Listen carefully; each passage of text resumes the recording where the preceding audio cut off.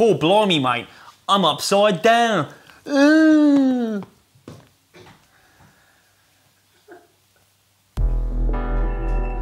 That's better. G'day, mate, and welcome to a very Australian version of the Geordie Wine Guide from Newcastle, Australia. Uh, Our mates at Rode Microphones have kindly supplied the mics for the Geordie Wine Guide. So this is a shout out to them. We're doing an Australian wine episode in honour of them because they're located just outside Sydney. So when I go down the supermarket in the UK, there's loads of Australian Shiraz. That's what we usually see in our supermarkets, but there's a whole lot of other ones as well. So I'm going to talk a bit about the different regions in Australia and all the interesting wines that come from them. So you go along the west, you've got the really hot deserty wines, you've got cooler wines where the wind comes in from the sea and it's a bit wetter and it's cooler and you can grow stuff like Cabernet and Chardonnay. And then you go over to New South Wales near Sydney and you can grow really hot, big Shiraz, juicy, full. And then you go down to uh, Mornington Peninsula where this is from.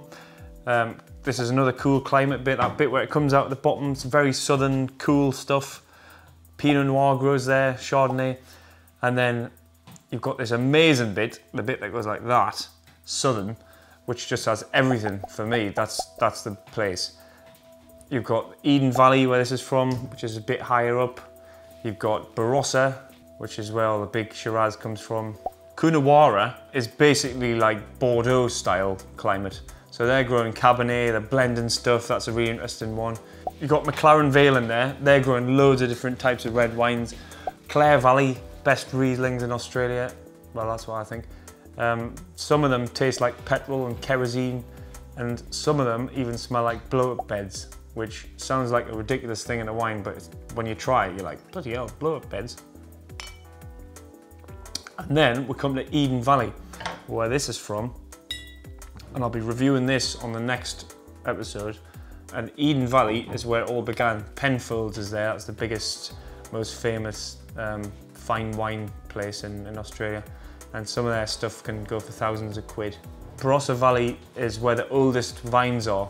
So when this little pest called phylloxera wiped out all the grapes of the world, some of them survived in Barossa. I don't know why, it must be because it's like isolated or something. So Barossa has some of the oldest vines you'll come across in the world of wine.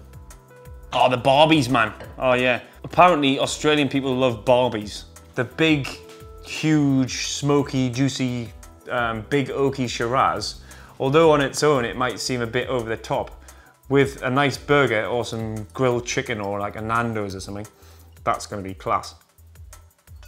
So if you're choosing wines from Australia, um, you got to try the different regions. So this one is down the bottom, Mornington Peninsula, Chardonnay. It's cool climate, it's high acidity. It's got nice lemony, citrusy, melon type aromas. But other places, like I've had some from Western Australia that have been a bit more ripe, tropical fruits, stuff like that. And there's also near Sydney, they, they're growing Semillon, which is a totally different grape altogether. So that's going to be more like a dessert wine. But they do different styles there and they, they let the grapes rot and they, they do loads of cool stuff. So there's different styles of white wine. Shiraz comes in so many different um, styles in Australia that if you have a Shiraz from Australia and think, oh, I'm not really keen on that, it's too, too big, too juicy or whatever, then there's always going to be a different style because it's so varied in climate. So I'm not a big fan of the big juicy bold wines with so much oak. So I tend to go for stuff from like Eden Valley, which is um, a bit cooler. I've heard that Australians are like some of the biggest consumers of wine in the world. That, I think that might just be because they're proper pissheads. Is that why when, when Australians come to Newcastle, they're always like, F***ing great Newcastle, mate. And they always know about Newcastle, even though they've never been. So if you're in your supermarket and you see one of them bottles that's got the yellow label and you think, oh, that's the extent of Australian wine, then look further because there's a lot more wine than that. So if you're gonna remember anything about Australian wines from this video, it's that there's loads of Shiraz, but it's not all big juicy barbecue wines. You can have serious wines as well. They've got a bit less fruit, they've got a bit more interesting uh, organic flavors, a bit like the, the wines of France. You've got blends, you've got Rieslings that are dry, smell like blow-up beds, remember that? There's Semillon, there's Pinot Noir down the south, there's loads of stuff. So just keep trying them, have an open mind and get the Barbie on.